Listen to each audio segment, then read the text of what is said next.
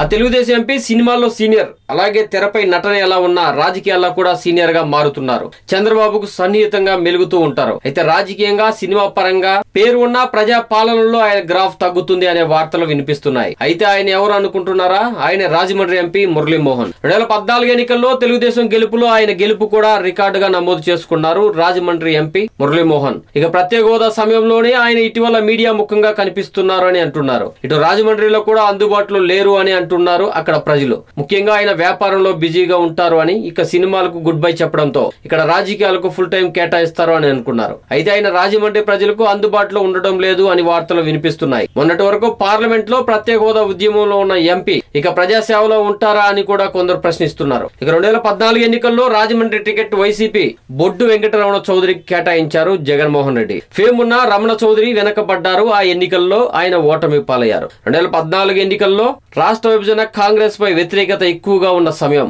అయితే పక్కన మోడీ ఇటు పవన్ కళ్యాణ్ ఉండటంతో రాజకీయంగా విజయం సాధించారు మురళీమోహన్. అయితే నమ్ము ఓట్లేసిన ప్రజలకు కేవలం ఐదారు సార్లు మాత్రమే ఆయన సెగ్మెంట్ తిరిగారు రాజమండ్రి సెగ్మెంట్లో ఆయన ప్రజా సమస్యలు గాలికి వదిలేశారు అని అంటున్నారు అక్కడ ప్రజలు ప్రతిపక్ష నాయకులు. ఆయన వచ్చే ఎన్నికల్లో ఎలాగా పోటీ చేయరు అని గత సంవత్సర కాలంగా వార్తలు వినిపించాయి. ఆయన కోడలు రూప రాజకీయంగా రంగంలోకి దిగనున్నారు అని వార్తలు వచ్చాయి. అయితే ఆయన రాజమండ్రి ఎంపీగా పోటీ చేయనున్నారని మళ్ళీ ఇప్పుడు వార్తలు వినిపిస్తున్నాయి. ఆయన కోడలు రూప ఎమ్మెల్యేగా వచ్చే ఎన్నికల్లో పోటీ చేయనున్నారట.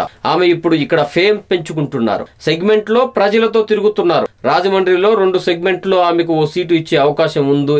రాజమండ్రిలో రెండు సెగ్మెంట్లలో ఆమెకు ఓ సీటు ఇచ్చే అవకాశం ఉంది అని అంటున్నారు తెలుగుదేశం నాయకులు. అలాగే రియల్ ఎస్టేట్లో కింగ్ అయిన ఆయనకు ఇసుక ర్యాంపిల్లో వాటాలు ఉన్నాయి అంటారు కొందరు. అయితే అవన్నీ ప్రతిపక్షాలు చేసే కామెంట్లు అంటారు ఆయన. ఇక రాజమండ్రి అంటే అన్ని సౌకర్యాలు ఉన్న ప్రాంతం.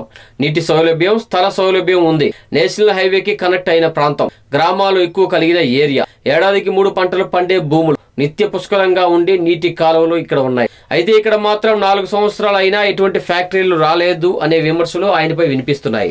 అధికారంలో ఉన్న తెలుగుదేశం పార్టీ తరఫున ఎంపీగా ఉన్నారు. పైగా కేంద్రంతో ఇప్పటి వరకు సయ్యద్గా ఉండి రాష్ట్రంలో అధికారంలో ఉండి రాజమండ్రికి ఏం చేశారు అని ప్రశ్నిస్తున్నారు ఇక రాజమండ్రికి గోదావరి పుష్కరాల సమయంలోనే నిధులు కేటాయించారు. ఆ సమయంలో నిధులతో ఇక్కడ అభివృద్ధి జరిగింది. అంతేగాని ఇక్కడ ఎటువంటి అభివృద్ధి తర్వాత నోచుకోలేదు అని బహిరంగంగా అంటుంటారు ప్రజలు. అయితే మహిళా కోటాలో వచ్చే ఎన్నికల్లో తన కోడలిని రాజమండ్రి ఎంపీగా లేదా ఎమ్మెల్యేగా అయినా నిలబెట్టాలి అని ఆయన ఆలోచిస్తున్నారు. మరి చంద్రబాబు కూడా వారసులకు వచ్చే ఎన్నికల్లో పెద్దపీట వేయనున్నారు అని అంటున్నారు. అందులో భాగంగానే ఆ ఫ్యామిలీకి బాబు సీట్ ఫిక్స్ చేస్తారు అని ఇప్పటికే చర్చించుకుంటున్నారు జిల్లా నాయకులు. ఇక వైసీపీ కూడా ఇక్కడ ఓ సినీ వ్యక్తిని పొలిటికల్గా దింపాలి అని ఆలోచిస్తుంది. అయితే వైసీపీలోకి ఉండవల ఎంట్రీ ఉండదు అనేది తెలిసింది. దీంతో జగన్ కూడా సినిమా రంగానికి చెందిన వారికి రాజమండ్రి ఎంపీ సీట్ ఇవ్వడానికి ఇప్పటికే మార్గం సుగమం చేశారు అని తెలుస్తుంది.